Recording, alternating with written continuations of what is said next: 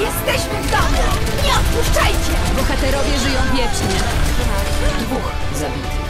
Dobra, na tym... Ej, no!